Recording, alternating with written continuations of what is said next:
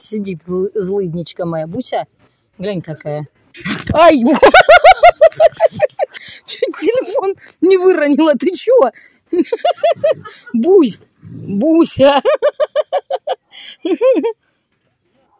Ну чё ты? Блин, я чуть телефон я не уронила. Чё ты, блин? Бусь! Ну, Бусь, ну не злись. Тебе черешенкой хотела угостить. Ты чё? Бусь. Ну, Бусь. Я тебе, говорит, сейчас... Чё, да боже мой. Ты боже мой, чё? Хочешь палец? Он вкусный, все хотят его попробовать. А? Все хотят пальчик попробовать. Хочешь? Дам тебе. Просовывать пальцы можно, говорит, их легко откусить.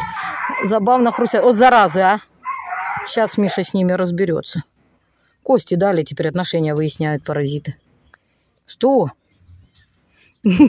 Да ладно, все, не дразню. Буся.